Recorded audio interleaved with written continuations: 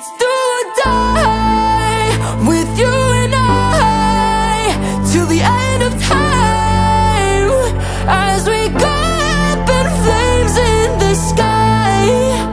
I'd sacrifice me, myself, and I. Cause you and you and I would do or die. What does it feel like to get struck by lightning?